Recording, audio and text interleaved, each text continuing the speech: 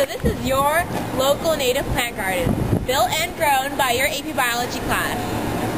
So some things you can do to help us out is you can bring your, your garden tools, things like shovels, spades, and rakes so that we can make this garden flourish. Plus, if you have any cash or if you have checks, please feel free to donate them so that this garden can last forever. Yeah, as you may see, the garden is really pretty right now, and we need more money to make it beautiful. So that's where you guys come in. So be sure to donate tools or money, and that will make this garden be a beauty.